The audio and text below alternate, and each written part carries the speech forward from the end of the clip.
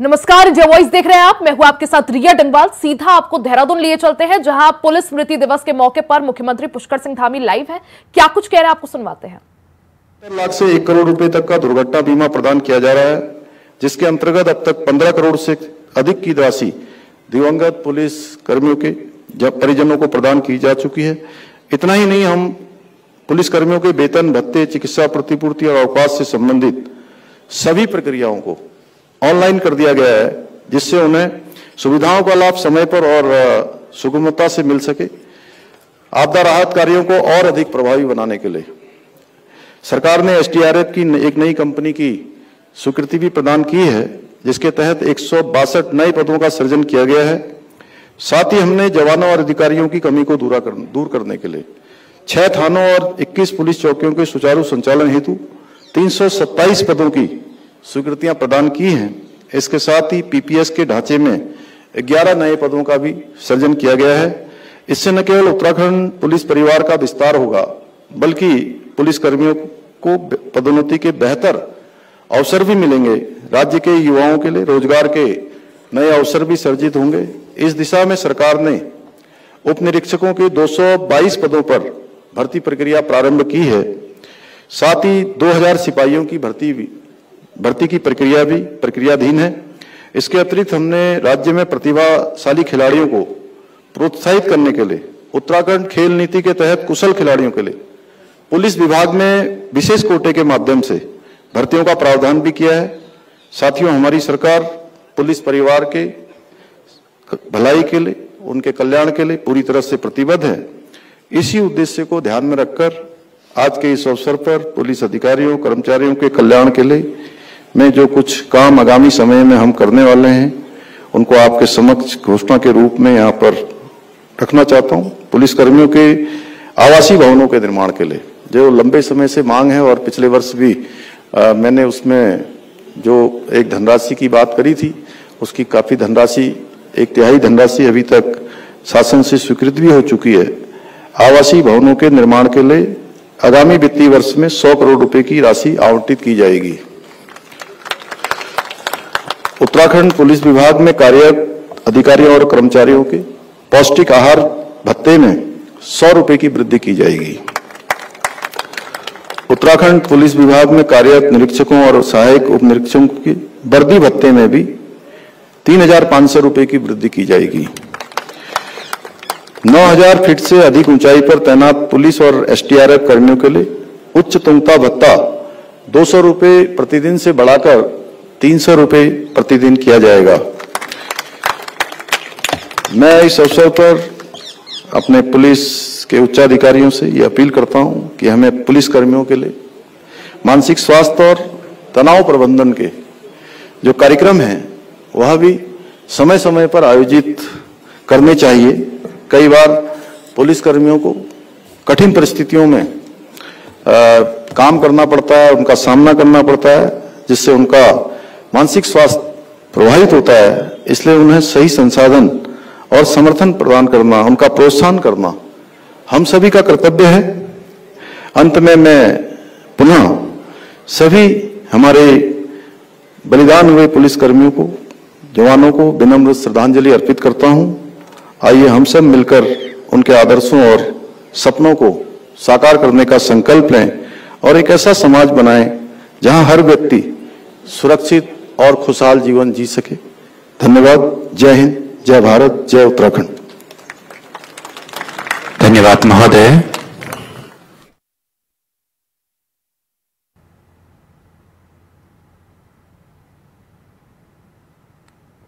तो आप देहरादून से मुख्यमंत्री पुष्कर सिंह धामी को सुन रहे थे। आज पुलिस स्मृति दिवस के मौके पर मुख्यमंत्री पुष्कर सिंह धामी ने शहीद जवानों को याद किया। साथ ही उनको नमन किया, उनको श्रद्धांजलि अर्पित की। तस्वीरें आप देख सकते हैं, देहरादून पुलिस लाइन में कार्यक्रम का आयोजन किया गया है। मुख्यमंत्री पुष्कर सिंह धामी ने आज पुलिस स्मृति दिवस के मौके पर शहीद हुए पुलिस के जवानों को याद किया, नमन किया और उन्हें श्रद्धांजलि अर्पित की।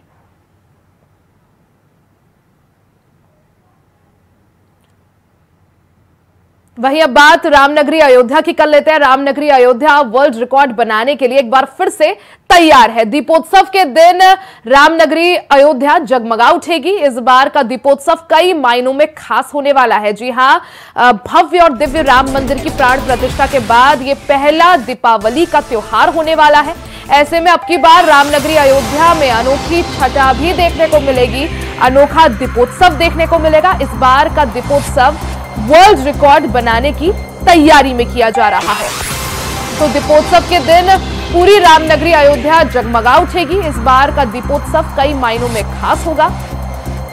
बता दें कि 2017 के बाद से भगवान प्रभु राम की नगरी अयोध्या में दीपोत्सव का कार्यक्रम हर साल किया जाता है और हर साल एक नया वर्ल्ड रिकॉर्ड बनाया जाता है। अब की बार भी एक नया वर्ल्ड रिकॉर्ड बनाया जाएगा। तस्वीरें आप देख सकते हैं किस तरह से प्रभु श्री राम की नगरी अयोध्या में अब की बार दीपोत्सव को देखते हुए तैयारियाँ की जा रही हैं। अब की बार का दीपोत्सव कई मायनों में खास होगा क्योंकि प्रभु श्री राम के भव्य और दिव्य मंदिर की प्राण प्रतिष्ठा के बाद ये पहली दिवाली होने वाली है। यही वजह कि अब की बार का दीपोत्सव कई मायनों में खास है। प्रशासन ज़ोर शोर से इसकी तैयारियों पर जुटा हुआ है। अब की बार कोशिश यही की जाएगी कि कई लाख दियो से अयोध्या नगरी को जगमगाया जाए और नया वर्ल्ड रिकॉर्ड बनाया जाए।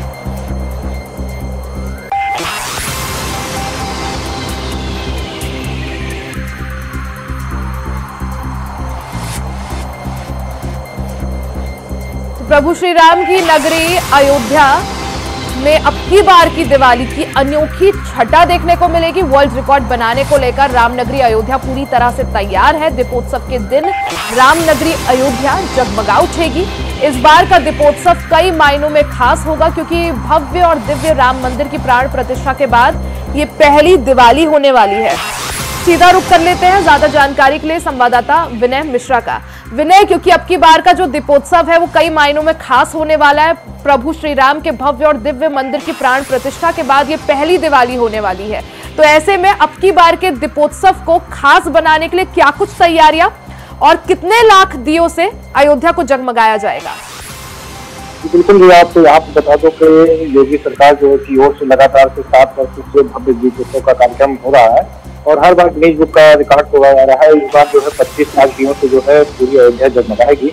तो इस बार ड्रोन से जो है भगवान राम की आकृति हनुमान जी की आकृति लक्ष्मण जी की आकृति जो है आसमान में जो बनती हुई नज़र आएगी। हम्म। तो उसके बाद लेजर शो होगा। इस तरीके से कई विभिन्न कार्यक्रम होंगे उनतीस अक्टूबर से यहाँ पे कार्यक्रम राम के पहले भी शुरू हो जाएगा। तमाम तरीके के जो सांस्कृतिक कार्यक्रम भी यहाँ पे आयोजन किए जाएँगे जिसमें लोग जो है दूर दराज से जो आएँगे बस उसका आनंद उठाते हैं पूरी अयोध्या में जो है इस बार जो है दीप से जो पूरी अयोध्या जगमगाएगी। या तो पहले होता था कि केवल राम घाट और राम की पहली पे ही जगमगाता था, लेकिन इस बार जो है, भगवान राम की जब प्रतिष्ठा बाईस जनवरी थी उसके बाद ये पहली जो है दीप उत्सव का कार्यक्रम होगा। तो राम मंदिर से लगभग एक लाख से ऊपर ये तो वहाँ पे भी जगमगाया था, और हनुमान गली है, जितने भी हनुमान मंदिर है, पूरी जो है, अयोध्या जो दीप से जो है जगमगाएँगे। बिल्कुल विनय, क्योंकि 2017 के बाद से हम लगातार देखते हैं कि राम की नगरी अयोध्या में हमेशा दिवाली के मौके पर अलग ही रौनक होती है, अनोखी छठा देखने को मिलती है और अब की बार की दीपावली इसलिए भी खास क्योंकि प्रभु श्री राम के भव्य मंदिर की प्राण प्रतिष्ठा के बाद ये पहली दिवाली होने वाली है। ऐसे में अगर तैयारियों की बात करी जाए, प्रशासन की तरफ़ से किस तरह से तैयारियाँ? बिल्कुल, अगर तैयारी की बात की जाए तो यहाँ पे जो मंडलायुक्त है, गौरव दयाल इनके द्वारा जो है अभी मीटिंग ली गई है और सभी अधिकारियों को निर्देशित किया गया है कि दीपोत्सव को कार्यक्रम को लेकर के जो है सब अलर्ट है और तमाम जो दिए के बनने का कार्य जो शुरू है तो उसका भी जायजा लिया जा रहा है। जो जिस जगह पे दीपोत्सव का कार्यक्रम होगा, उस जगह का भी जो है चिन्हांकन भी हो चुका है पूरी तरीके से और साफ़ सफ़ाई व्यवस्था है और सुरक्षा व्यवस्था को लेकर के ड्रोन एरियन के माध्यम से जो है इस बार मॉनिटरिंग की जाएगी। इस तरीके से सुरक्षा के पूरे पुख्ता इंतज़ाम किए जा रहे हैं और राम पथ जो है बिल्कुल श्री राम की जन्म स्थली अयोध्या में अब की बार की दिवाली में अनोखी तैयारियाँ की गई है। अब की बार की दिवाली कई मायनों में खास और यही वजह है कि दीपोत्सव में वर्ल्ड रिकॉर्ड नया बनाने के लिए चाक चौबंद तरीके से जो है इंतज़ाम किए जा रहे हैं। विनय बहुत बहुत शुक्रिया जानकारी के लिए। वही खबर मथुरा से है, जहाँ ताजमहल पर जल चढ़ाने वाले युवक पर जानलेवा हमला हुआ है। गंभीर रूप से युवक घायल हो गया है, जिसके बाद घायल युवक को अस्पताल में भर्ती कराया गया है। ताजमहल पर जल चढ़ाने वाला वीडियो वायरल हुआ था। हिंदू महासभा के पदाधिकारियों ने ने सगाए आरोप और श्याम बाबू पर साजिश के तहत हमला हुआ है, ऐसा हिंदू महासभा का कहना है। हमलावरों को गिरफ़्तार कर पूछताछ कर रही है पुलिस। देवीपुर, देवीपुरा है, हाईवे थाना क्षेत्र में एक साड़ी की फैक्ट्री है। वहाँ पर दो पक्ष में आपस में मारपीट हुई थी। वो साड़ी फैक्ट्री में काम करना राहुल और सूरज के बीच में आपस में मारपीट हुई। तो राहुल ने अपने साथी, अपने भाई छोटू, गौरव और राकेश को बुला लिया। राकेश ने बाद में जो मजरूब है श्याम, उनको भी बुला लिया। तो इन लोग वहाँ गए, सूरज के साथ में मारपीट किया। तो सूरज ने अब सूरज सूरज और जो सारी फैक्ट्री में काम करने वाले और जो संजय है, चार पाँच लोग और। इन लोगों ने लाठी डंडों डंडों के साथ में श्याम की पिटाई कर दी, जिससे उसको काफ़ी गंभीर चोटें आई हैं, जिसको सिटी हॉस्पिटल में एडमिट करा दिया गया है। श्याम के पिता के तारीख पर तीन सौ नौ बी की धारा में मुकदमा पंजीकृत कर लिया गया है। इस अस्पताल में चार लोग पुलिस हिरासत में है। इनको से कड़ी ज़्यादा जानकारी के लिए सीधा रुक कर लेते हैं संवाददाता मोहम्मद फारूक का। मोहम्मद फारूक क्या कुछ ये पूरा मामला है मथुरा से जहाँ ताजमहल पर जल चढ़ाने को लेकर विवाद जो है इतना ज़्यादा बढ़ गया कि एक युवक पर जानलेवा हमला हो जाता है। क्या कुछ मामला? बिल्कुल रिया ये मामला जो है अभी विगत महापूर्व इन्होंने जो श्याम बाबू है, इन्होंने ताजमहल पे जल चढ़ाया था और उस पर एक वीडियो भी वायरल हुआ था जो जल चढ़ाते हुए दिख रहा था। लेकिन ये यहाँ रहने वाले मथुरा के, इन्होंने इनके ऊपर अभी कुछ लोगों ने इनके ऊपर हमला कर दिया और हमला इतना ज़बरदस्त हुआ इनके ऊपर कि इनके गंभीर चोटें आई हैं। तमाम लोगों ने इस पर ऑब्जेक्शन किया है। हिंदू महासभा के जो पदाधिकारी हैं उन्होंने इस पर ऑब्जेक्शन किया है। उनका कहना है कि ताजमहल के पे इन्होंने जल चढ़ाया था इसलिए इसको लेकर इन पर हमला किया गया है। लेकिन जो है पुलिस का उधर कहना है कि दो पक्षों में झगड़ा हुआ था जिसमें कुछ लोगों को गिरफ़्तार कर लिया है और कुछ लोग और हैं जिनकी गिरफ्तारी अभी होना बाकी है। तो इसको लेकर काफ़ी मामला गरमाया हुआ है। आ, लेकिन ऐसे व्यक्ति के साथ में यानी इन्होंने जल चढ़ाया था तो कहीं ना कहीं हिंदू महासभा इसको उससे जोड़कर देख रही है कि कुछ लोगों द्वारा जो हमला किया गया है हम्म। कहीं इस बाबत कोई हमला तो नहीं है जी रिया। फारूक जिस तरह से अगर घायल की बात करें जैसा आपने कहा गंभीर रूप से घायल है तो अस्पताल में डॉक्टरों का क्या कुछ कहना है? स्थिति किस तरह से है अभी? जी बिल्कुल रिया अभी तो ये खतरे से बाहर हैं हम्म। लेकिन चोटें इनके श्याम बाबू के अधिक आई हैं और चोटें भी इतनी मतलब गंभीर हैं हम्म। कि अभी ये कुछ कहने के लायक नहीं है अभी कुछ बोलने हम्म। बोल नहीं पा रहे हैं लेकिन अभी लेकिन खतरे के बाहर डॉक्टर इनको बता रहे हैं फारूक जिस तरह से आपने बताया कि पुलिस जो है पहले ही साफ़ कर चुकी है कि ये जो हमला हुआ है ये ताजमहल वाली घटना से जुड़ा हुआ नहीं है। दो पक्षों के बीच विवाद हुआ और उसके बाद श्याम बाबू जो है घायल हो गए। और वहीं जो हिंदू महासभा है वो इस पूरे हमले को जो है ताजमहल वाली जल चढ़ाने वाली घटना से जोड़ते हुए देख रही है। क्या माना जाए यहाँ पर? किसकी बात पे सत, आ, किसकी बात जो है सच है किसकी बात झूठ क्या माना जाए यहाँ पे? जी आपको बता दें भैया कि पुलिस का तो साफ़ तौर पर कहना यह है कि ये दो पक्षों में झगड़ा हुआ था। और उन दोनों लोगों में इनमें मारपीट हुई है जिसमें श्याम बाबू को गंभीर चोटें आई हैं। पुलिस का तो यही मानना है लेकिन हिंदू महासभा के पदाधिकारी इस बात को नहीं मान रहे हैं। उधर हिंदू महासभा की जो अध्यक्ष हैं छाया गौतम उन्होंने साफ़ तौर पर बयान दिया है कि जो ताजमहल से जुड़ा हुआ मामला है। इन्होंने ताजमहल पर जिस तरीके से वीडियो बनाई थी और जल चढ़ाया था बिस्लरी की बोतल में ये जल लेकर गए थे। और इन्होंने चढ़ाया था। उसको लेकर जो है लोगों ने इनके साथ मारपीट की है, लेकिन पुलिस अभी इस मामले को मानने के लिए तैयार नहीं है भैया। बिल्कुल, फारूक, हालाँकि जब श्याम बाबू होश में आते हैं, उसके बाद क्या कुछ ये मामला निकलकर सामने आता है, उसके लिए इंतज़ार। फारूक बहुत बहुत शुक्रिया जानकारी के लिए।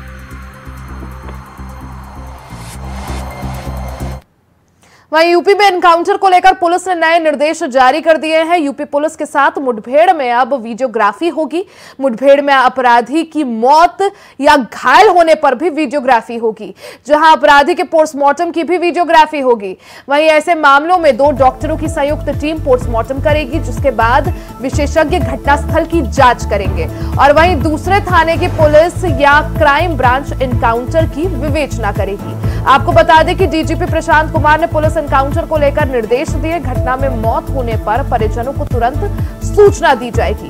एनकाउंटर में शामिल पुलिसकर्मियों के शस्त्रों का भी प्रशिक्षण कराया जाएगा। अपराधी के पास से बरामद असलाहों की बैल, बैलिस्टिक जाँच कराई जाएगी। परीक्षण रिपोर्ट को केस डायरी में भी दर्ज किया जाएगा। ज़्यादा जानकारी के लिए सीधा रुख कर लेते हैं मोहम्मद आसिफ का। आसिफ, क्योंकि कई बार विपक्ष जो है एनकाउंटर को लेकर कई तरह के सवाल उठाता आया है। अब जिस तरह से डीजीपी का निर्देश सामने आ गया कि कभी भी एनकाउंटर हो या पोस्टमार्टम हो, उसकी पूरी तरह से वीडियोग्राफी होगी। किस तरह से इस निर्देश को देखें? देखिए रिया यूपी में कई ऐसे इनकाउंटर हुए जिसको लेकर सियासत भी खूब हुई और एनकाउंटर पर सवाल भी खड़े हुए। चाहे मंगेश यादव एनकाउंटर हो या फिर बहराइच एनकाउंटर हो या फिर अनुज का एनकाउंटर हो तो कुल मिलाकर जिस तरह से एनकाउंटर पर लगातार सवाल खड़े हो रहे थे और साथ ही साथ कई एनकाउंटर के मामले अब कोर्ट भी पहुँच चुके हैं। तमाम सवालों को देखते हुए यूपी सरकार ने एक अहम गाइडलाइन जारी की है और साथ ही साथ डीजीपी प्रशांत कुमार को निर्देश दिया गया है। और इसमें है साफ़ तौर पर कि अगर एनकाउंटर हो रहा है तो उसकी वीडियो ग्राफिक कराई जाए। इन जो घटना स्थल है, उस पर पूरी तरह से सतर्कता बरती बरती जाए। अगर कोई अपराधी एनकाउंटर में मारा जाता है तो उसकी सूचना तुरंत परिजनों को दी जाए। इसके अलावा जो पोस्टमार्टम के लिए पंचायत नामा भरा जाता है, उसमें मृतक बदमाश के परिजनों के हस्ताक्षर भी कराए जाए और तमाम आरोपों से बचने के लिए डीजीपी ने यह निर्देश दिया है डीएम और एसपी को कि मौके पर फॉरेंसिक टीम पहुँचे जाँच करे और इसके अलावा जो अपराधी के पास से असलाह बरामद होता है उसकी बैलिस्टिक जाँच कराई जाए इसके अलावा जो पुलिस के पास हथियार है जिनसे एनकाउंटर हुआ है हम्म। उसकी भी जाँच कराई जाए तो कुल मिलाकर यह कहा जा सकता है कि अब एनकाउंटर पर यूपी पुलिस पूरी तरह से सतर्क हो गई है। एनकाउंटर पर होने वाली सियासत को एक तरह से रोकने के लिए यहाँ पर डीजीपी प्रशांत कुमार ने सख्त आदेश जारी किए हैं। अब कोई भी एनकाउंटर होगा उसकी साफ़ तौर पर वीडियोग्राफी के आदेश यहाँ पर जारी किए गए हैं। आसिफ बहुत बहुत शुक्रिया जानकारी के लिए। वहीं खबरों में आगे बढ़ते बात रांची से बड़ी खबर की कर लेते हैं जहाँ झारखंड में सीट बंटवारे पर खींचतान अभी भी जारी है। जी हाँ, जेएमएम और कांग्रेस के बीच तालमेल पर नाराज़गी है। अधिक सीटों पर दावेदारी को लेकर आरजेडी नाराज़ है। आरजेडी और जेएमएम के बीच पुराना तालमेल के बाद तलखी देखने को मिल रही है। आरजेडी ने जेएमएम को 24 घंटे का अल्टीमेटम दिया है। आज इस दौरान कुछ बड़ी घोषणा हो सकती है।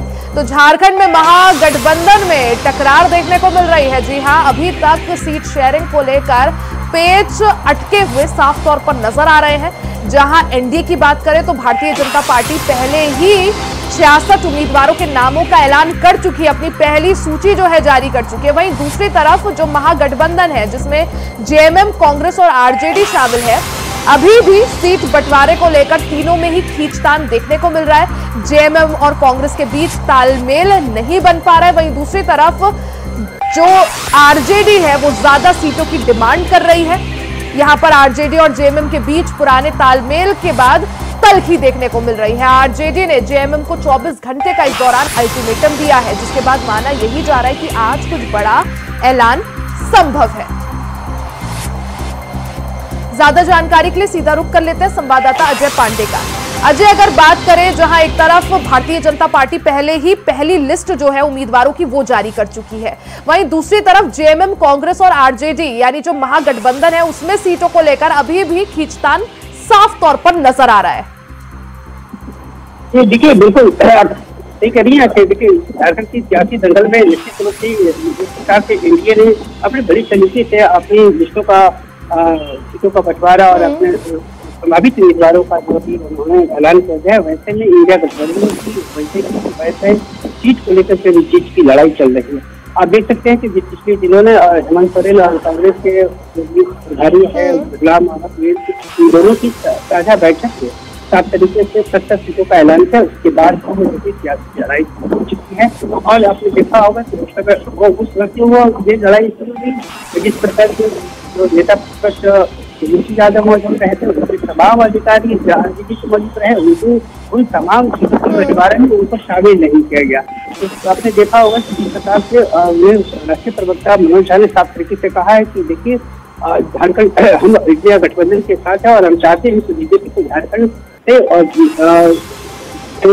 तो वैसे में जो है, आरबीडी महत्वपूर्ण है और हमने हमेशा जो है राजनीतिक धर्म गठबंधन का धर्म निभाया और ऐसे में जो मुझे नंबर ऑफ़ सीट का गेम दे करके और मुझे जो दरकिनार किया गया इससे मैं असंतुष्ट हूँ।